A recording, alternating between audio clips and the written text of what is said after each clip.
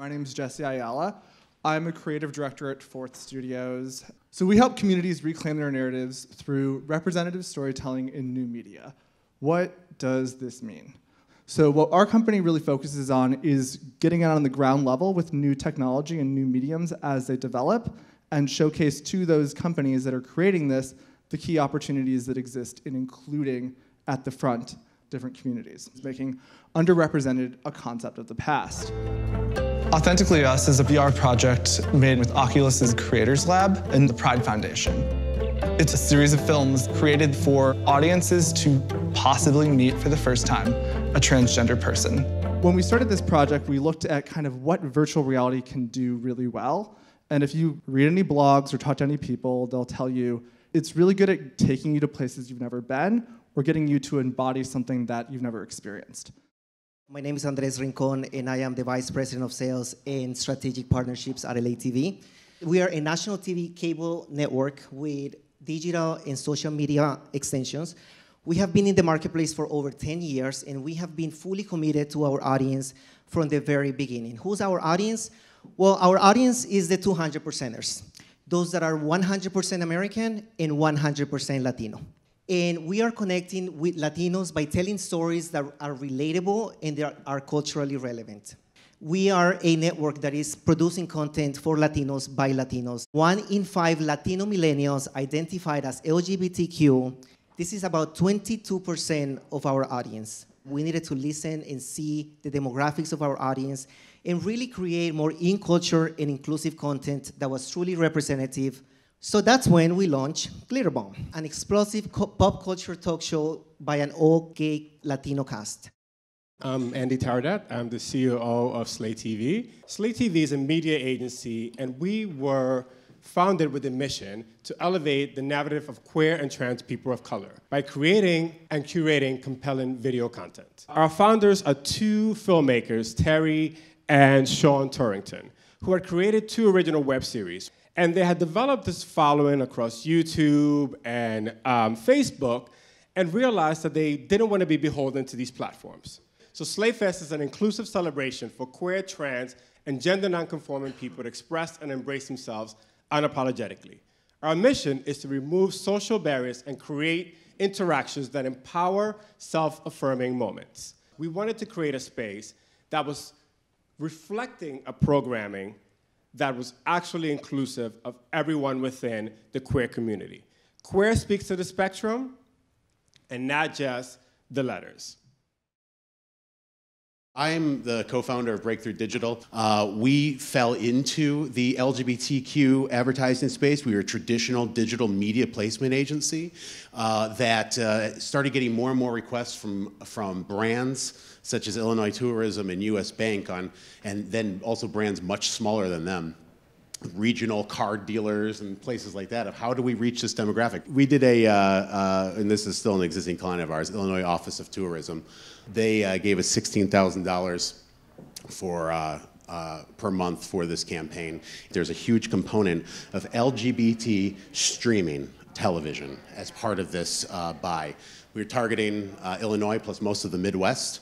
Their goal was simply to book hotel rooms, and we had to prove it. Uh, they've booked over $40,000 in hotel revenue within the state. So that's a two and a half time uh, return on ad spend. I'm Shanna. And I'm Gabby. and uh, we are 27 Travels. Since we started dating, we knew that we loved traveling right away. So we started traveling together. And about three years, like three years ago, we were like, hey, let's just like you know put some of our travel photos on our Instagram account. And it just started as like a really fun thing to do. But um, since then it's kind of grown a little bit. Yeah, I think that's something we noticed right away was that we weren't seeing a lot of people like in our community at all, like other lesbians especially traveling and being open about it. It was kind of something like, you know, we have friends and they'll go and they'll travel, but they never will post a lot about it. And we've seen that change a lot over the last three years, and it's really important for us to show other people in different places in the world that like you can travel and you can do all of the things that we're doing and you can make a safe space for yourself and, and be able to enjoy your life. I'm Jeff Perla. I am the founder and creator of The Travelin' Bum. I actually was not out in the year 2016.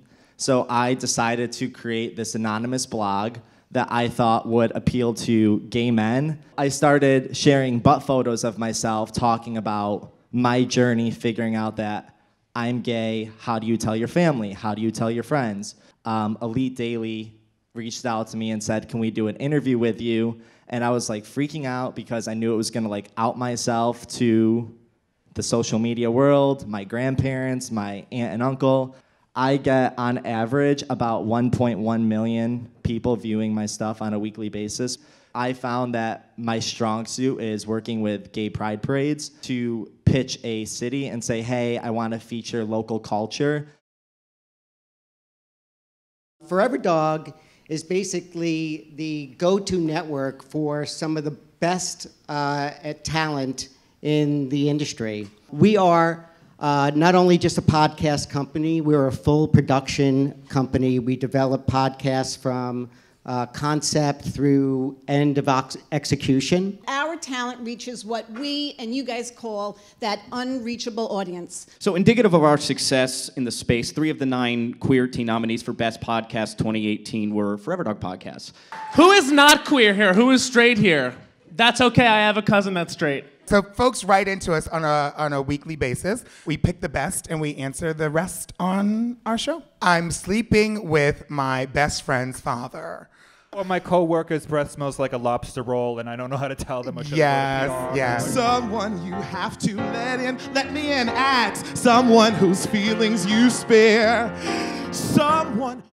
Right now, in order to connect with your audience, you just need to understand how to get in touch with them. So SocialQ is social queen, social queer, but above all, it's social cues and how we need to reclaim social cues currently, especially as advertisers and marketers.